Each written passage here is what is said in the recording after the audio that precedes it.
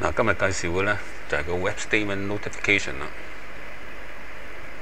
以前呢 statement 電子化呢，我哋建議人哋呢，就係將嗰啲 statement 咧變成一個 PDF file，然後呢就用 email send 俾個客戶嘅。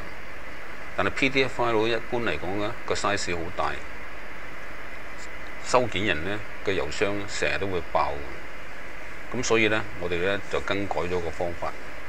就係我哋唔 send 嗰個 PDF 啦，取而代之呢，就 send 一個通知，呢、個就係 Web Statement 嘅 notification。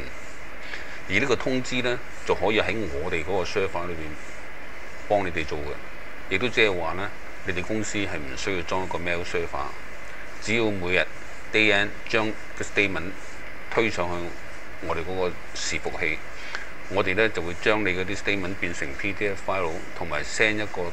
電郵通知個客，即係話俾佢聽，你有 statement 啦。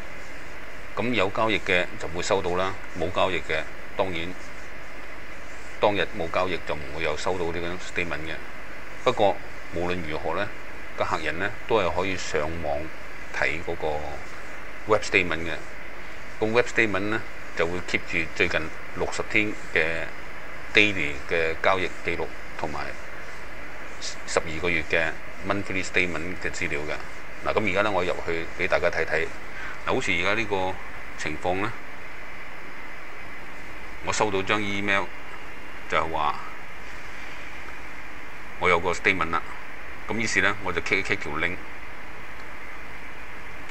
咁咧因為我個戶口號碼就係 A 十八啦，咁所以我打 A 十八。啊，咁然後我登入。